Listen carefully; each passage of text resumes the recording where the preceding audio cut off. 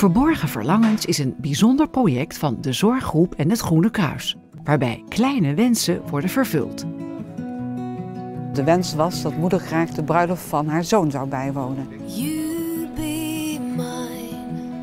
Het bleek dus dat ze al vanaf oktober zo'n beetje bezig waren om eh, met de gemeente in overleg te gaan om een aangepaste rolstoel voor moeder te krijgen, zodat ze de bruiloft kon bijwonen.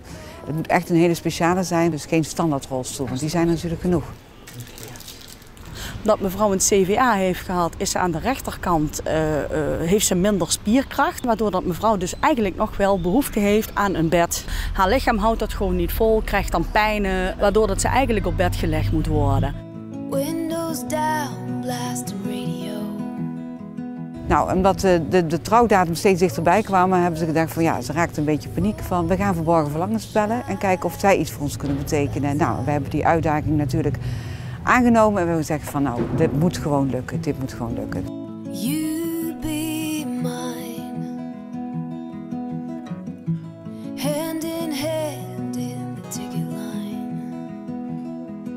Wat we dus gewoon doen, is dat je gaat rekken met de taxi. Dan gaan Ricky en Nicole gewoon met mij.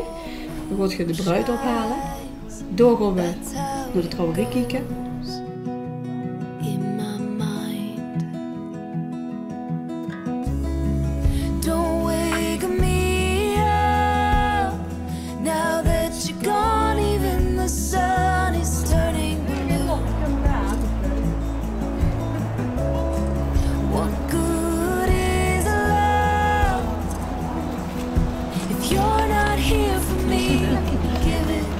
What good is love without you?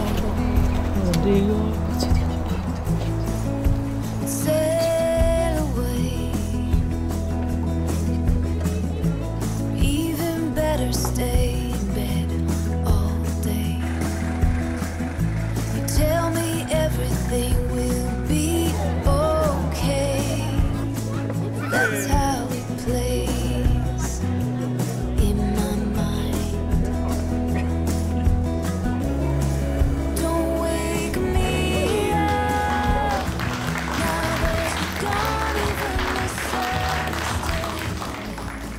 Van harte welkom in het mooie stadhuis van Venlo ter gelegenheid van het wettelijk huwelijk van Shirley en van Patrick. Tell me everything will be okay. Shirley Banzinger, neemt u Patrick Gerens aan tot wettige echtgenoot? Wat is daarop uw antwoord? Ja. We'd have time.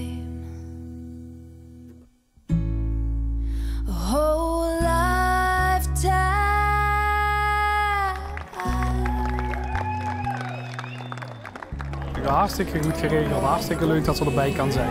Ik vind het echt hartstikke super. Dat is niet te bevatten. Echt niet.